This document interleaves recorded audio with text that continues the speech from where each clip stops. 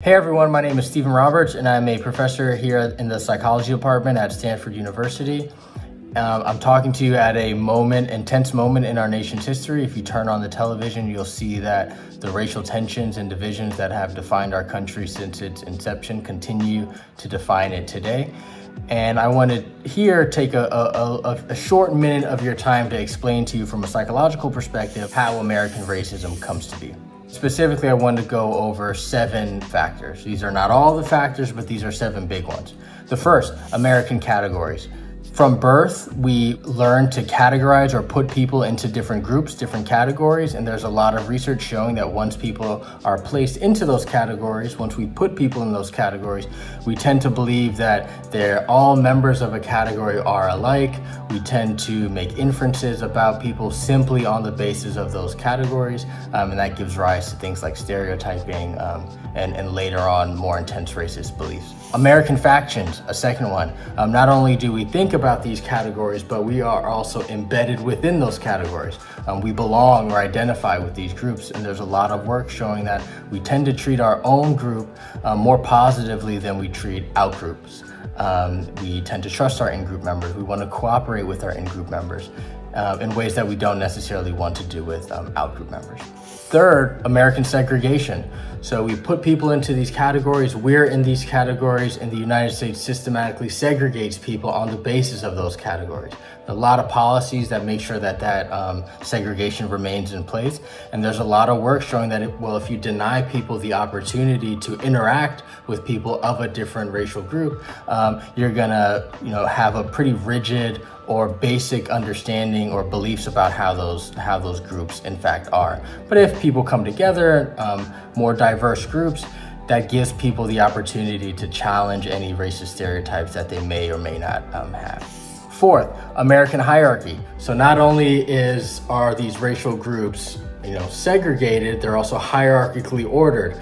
And there's a long um, history in the United States by which white Americans tend to be um, have higher status than Americans of color. I'll give you one quick example. As of today, 2020, um, about 98% of U.S. presidents have been white. So there's a clear a clear hierarchy.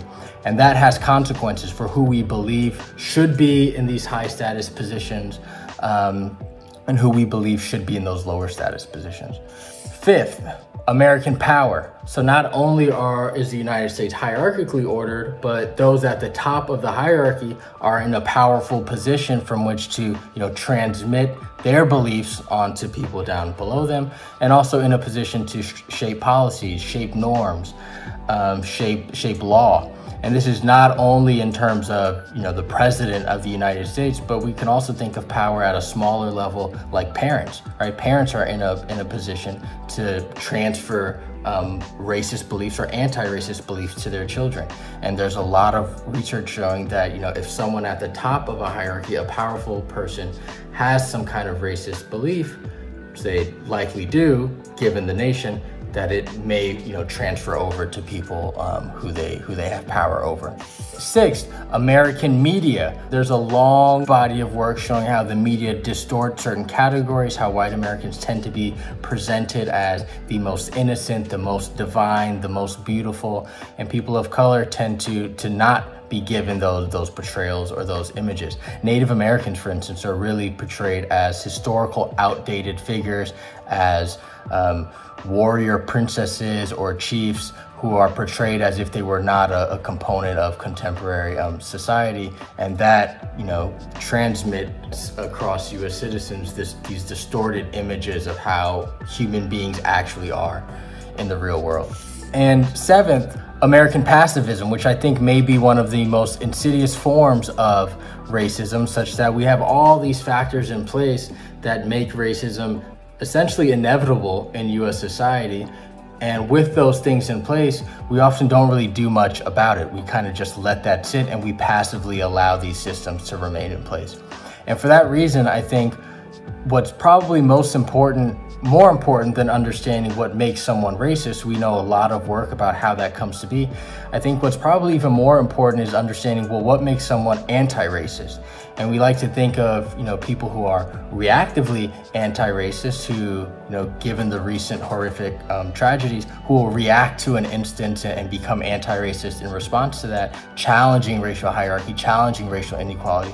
We also want to think about ways to be proactively anti-racist. Before something happens, what are you doing in your, in your life right now to challenge racial hierarchy going forward? How future oriented are you? And I think that's something that's unfortunately less common, but this is, I think, a, a great moment for us all to sit back and reflect, well, why is it um, so uncommon and how can we make it the norm going forward?